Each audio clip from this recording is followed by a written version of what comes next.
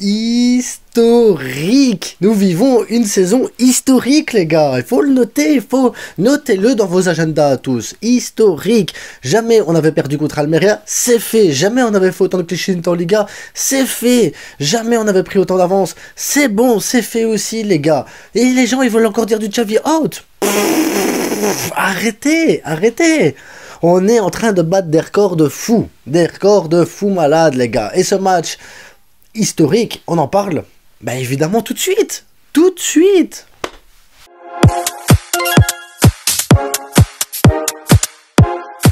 Aïe aïe aïe aïe aïe aïe aïe aïe les gars, mais quelle semaine de merde, quelle semaine de merde, éliminé de l'Europa League contre un Manchester plus, plus fort, plus fort, faut dire ce qui est. Aujourd'hui on fait tourner, donc on montre un peu qu'on a une équipe qu'on peut remanier un petit peu, qui peut jouer contre les 18e de Liga. Eh ben non, on peut pas jouer contre les 18e de Liga avec l'équipe B. On doit mettre l'équipe titulaire tout le temps. Tu peux pas jouer sans Pedri. Tu ne peux pas, c'est impossible. Pedri, il manque les gars. Sans Pedri, tu gagnes pas autant de matchs. C'est comme ça, c'est la dure réalité. On est obligé d'avoir Pedri au milieu de terrain pour réussir à faire un beau match. Que ce que vous voulez que je vous dise Aujourd'hui, j'étais content, j'ai regardé le match et je me suis dit, oh purée, on dirait du Kuman.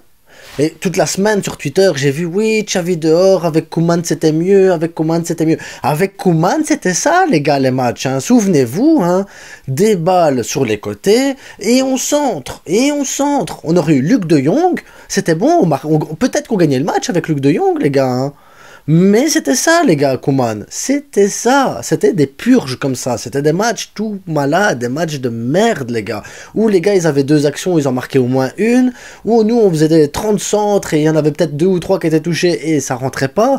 Et après, t'avais Luc qui rentrait, qui mettait peut-être une tête. Bon, ben, Lewandowski n'a pas la qualité de finition de Luc de Jong. Peut-être qu'on peut se résumer à ça le match. Est-ce que Lewandowski a le niveau de Luc de Jong? Est-ce que vraiment Luc de Jong n'aurait pas mérité un ballon d'or? Ah ouais, mais les gars, à un moment donné, il faut, faut garder un peu en tête certaines choses. On n'a pas de banc. Tu veux faire tourner, c'est très bien. Parce qu'il faut laisser reposer. Koundé, il est épuisé, il faut laisser reposer. Roro avait une il fallait laisser reposer. Baldé, je sais que tout le monde voulait voir Baldé, mais après, on a des gros matchs qui arrivent. Donc tu te dis, bah, tu peux faire tourner, mettre Jordi Alba à la place.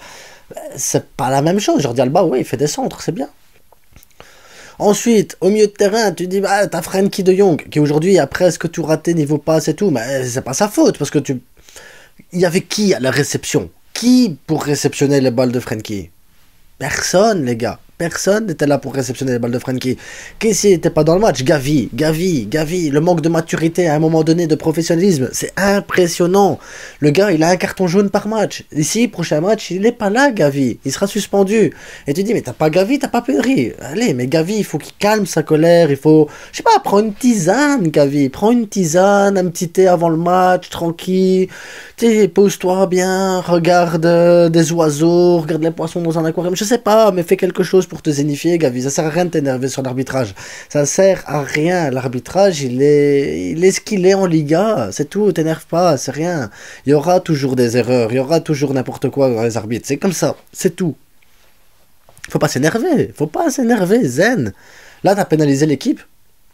Le manque de maturité a fait qu'on est pénalisé pour le prochain match. C'est tout. Sergi Roberto, Sergi Roberto, je te défends parce que ça reste un joueur polyvalent. C'est intéressant d'avoir un Sergi Roberto dans une équipe, un joueur qui peut jouer à tous les postes et combler un peu tous les postes. Le problème, c'est que Sergi Roberto, je sais pas si pour, les plus anciens qui ont joué à PES, il y avait à un moment donné des équipes comme ça où c'était player 1, player 2, player 3, ils avaient tous 60 dans tous les domaines. Donc ils étaient nuls partout, mais on pouvait les mettre partout, même au goal.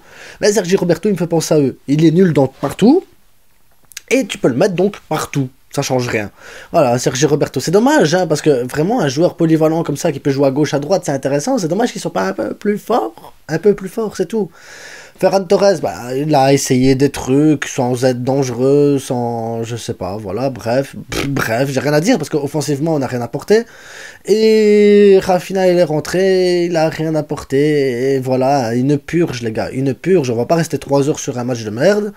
Je suis juste moi content parce que j'ai jamais eu, mais de après, moi ça fait pas longtemps que je suis sur YouTube et j'ai jamais eu de match de Kuman à commenter. Et je suis content parce que quand je vois la difficulté que c'est de commenter ou de faire un débrief sur le match de Kuman, oh, Je suis content de pas avoir connu ça, les gars. Maintenant, j'espère que voilà, cette semaine-ci, elle s'est clôturée.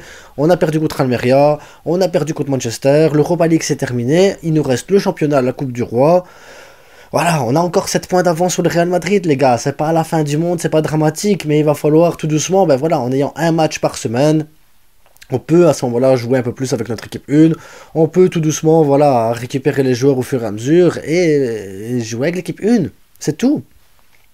Moi, je me dis que ben, si on fait jouer que l'équipe 1, normalement ceux qui sont remplaçants et qui rentrent plus jamais, ils vont peut-être essayer de trouver un autre club. Peut-être qu'on pourra les vendre. Peut-être qu'on pourra financer l'achat de vrais joueurs de foot, des joueurs qui ont envie de jouer au football, qui ont envie de porter le maillot du Barça et qui ont envie d'apporter quelque chose de plus à l'édifice Barcelone. Parce que là, c'était oh, c'était catastrophique, les gars, catastrophique.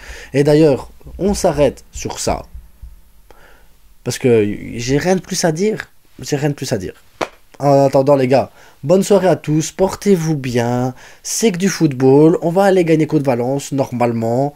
Puis après, ça s'enchaînera et on va reprendre du positif, les gars. N'oubliez pas, on est premier de Liga, on a 7 points d'avance, on a le record de clean sheet, on a la meilleure défense. Étrangement, l'attaque elle marque pas, même contre les 18 e mais bon, c'est pas grave, les gars, c'est pas grave. Ciao